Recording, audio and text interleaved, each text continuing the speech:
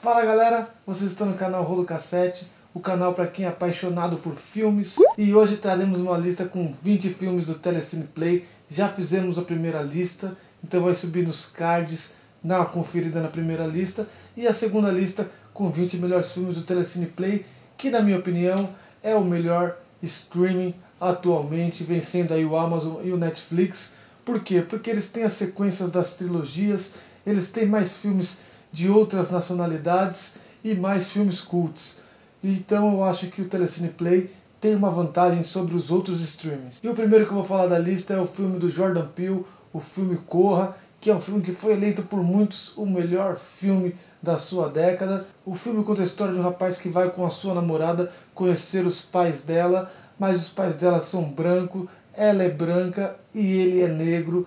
Então o filme vai tratar sobre esse final de semana muito diferente na vida desse cara e o filme realmente é um filme eletrizante de suspense. O diretor Pedro Almodóvar não pode ficar de fora dessa lista, então vamos falar de um clássico dele, vamos falar do filme Tudo Sobre Minha Mãe. O filme Tudo Sobre Minha Mãe ganhou prêmios e é um dos mais reconhecidos dele, conta a história de mulheres fortes como Pedro Almodóvar gosta de fazer e é um filme cheio de reviravoltas como são os filmes de Pedro Almodóvar.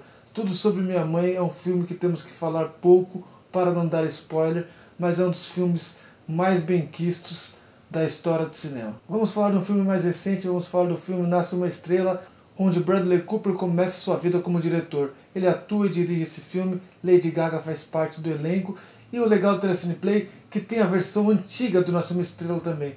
A versão original, esse é um remake, mas esse também, o remake é muito bom e vale muito a pena conferir.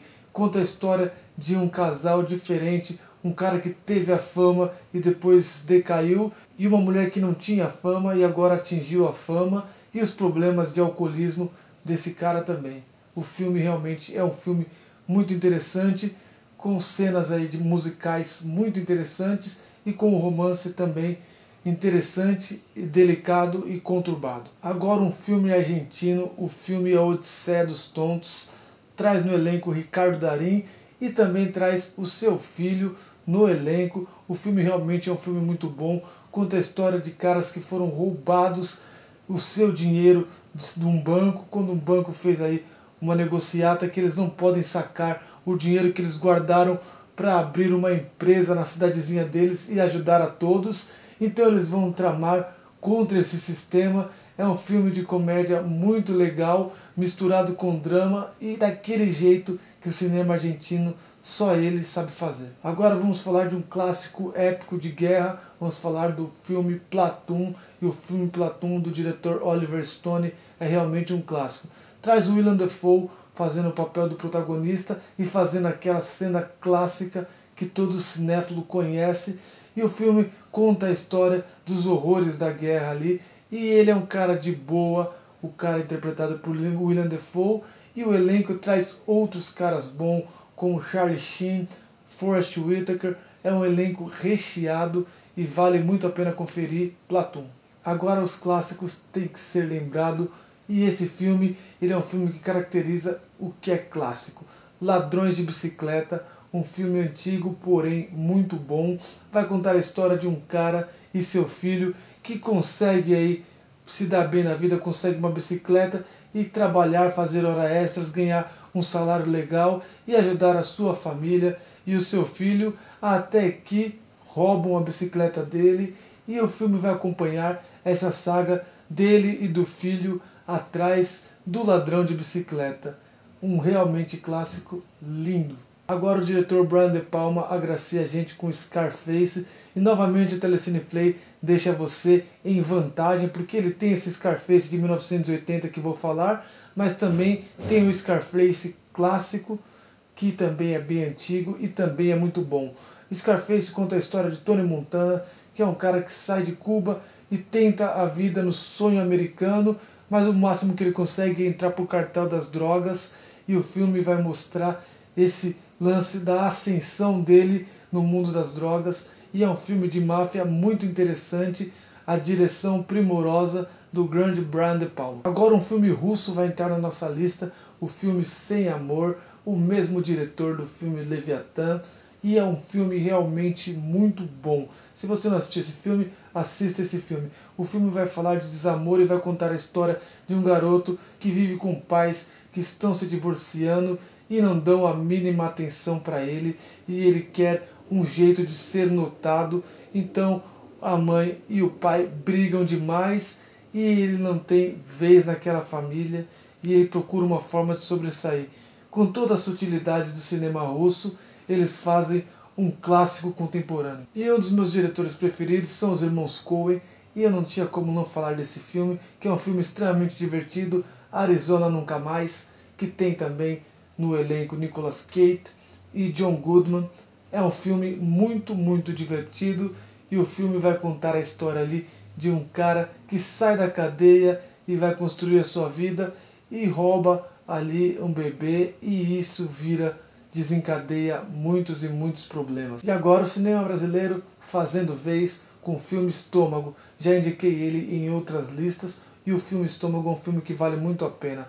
Tem João Miguel fazendo um dos melhores papéis da sua carreira. Tem Babu Santana, Paulo Miklos, é um filme com um elenco recheado e conta a história de um cozinheiro, do seu anonimato à sua ascensão em grandes restaurantes e ao mesmo tempo ele está preso contando essa história. Então o filme vai se passar por esses dois cenários. É um filme que vale muito a pena e cheio de reviravoltas. Agora vamos falar de um filme doido das ideias, vamos falar de A Estrada Perdida, que também está no Telecine Play e é o filme do diretor David Lynch. Para quem conhece David Lynch sabe que ele é aquele diretor dos filmes de estranheza e esse filme um casal começa a receber ali fitas de videocassete e nessas fitas contém filmagens sobre a casa deles, depois contém filmagens sobre eles dormindo e depois disso vai acontecer muitas outras coisas e aparecer personagens muito diferentes e que vão dar muito medo e estranheza.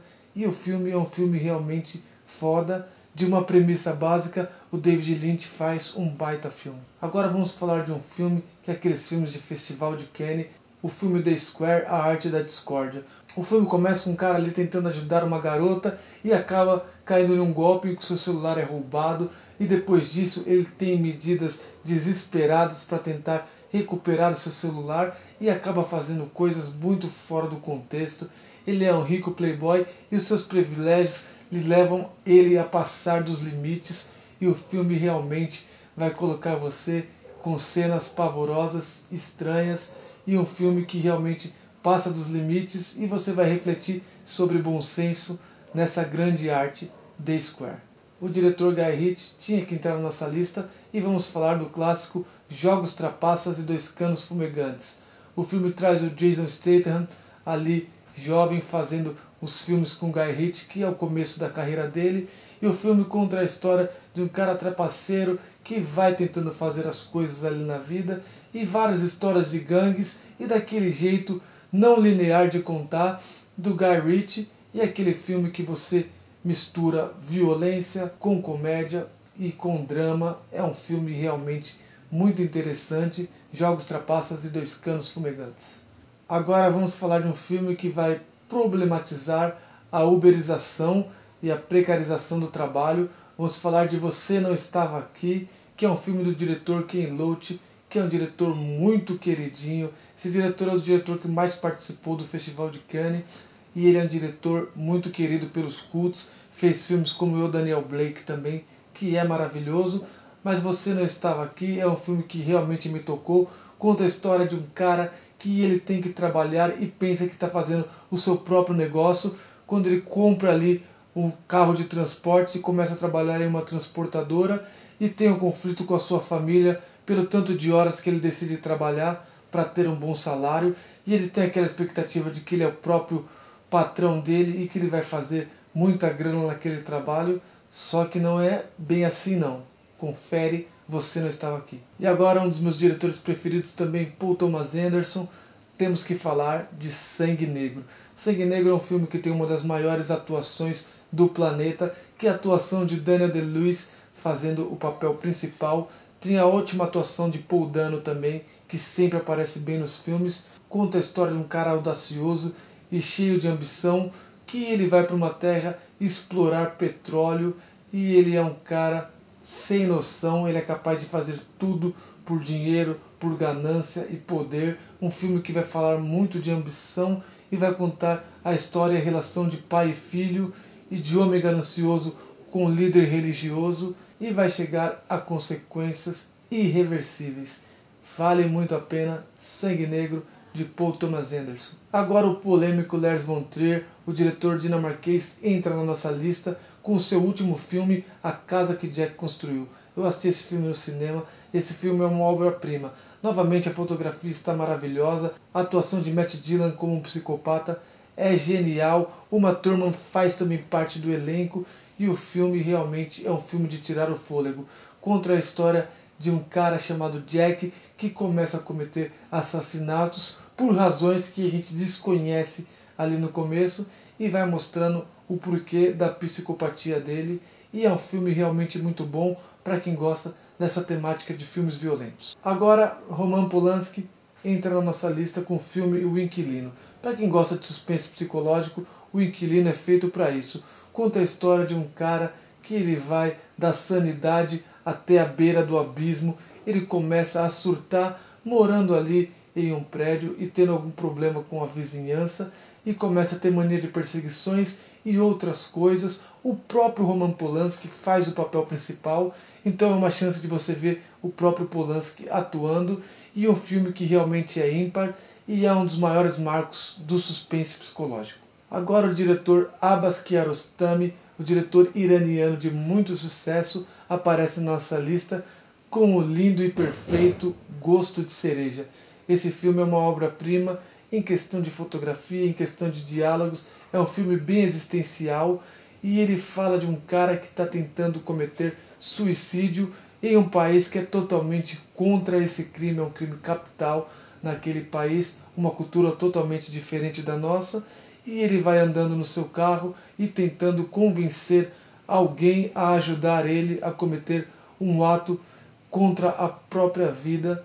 Então é ser difícil ali ele convencer alguém, mas o tempo todo vai mostrar argumentos e como as pessoas reagem a esse tipo de proposta indecente naquele país. Clássico é clássico e tem que ser lembrado. Vamos falar de Um Corpo que Cai de Alfred Hitchcock. É um dos maiores filmes do Hitchcock. Tá lá de mão beijada para quem não viu esse grande clássico.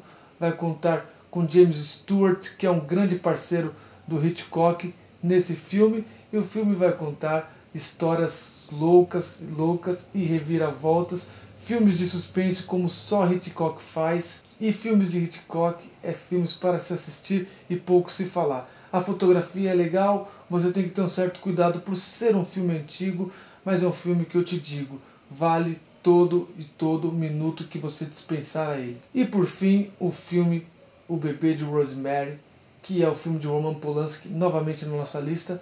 E o Roman Polanski faz desse filme um marco. E o filme conta a história de uma mulher que está grávida e quer ter um filho numa tranquilidade, mas o seu marido começa a se envolver com os vizinhos e parece acontecer coisas muito estranhas ali que pode correr risco para ela e para o filho dela e ela quer de toda maneira proteger a sua família. É um dos filmes de suspense psicológico também muito bem feito, assim como ele fez o Inquilino. Nesse filme ele faz muito bem e o Roman Polanski tem um dedo bom para esse tipo de suspense. Esse filme vale muito a pena conferir e ele finaliza a nossa lista dos 20 melhores filmes. Se você chegou até aqui e gosta desse conteúdo, não deixe de se inscrever no nosso canal, deixe seu like, ative o sininho e compartilhe para geral, para que geral assista 20 filmes maravilhosos no Telecine Play. Valeu, galera!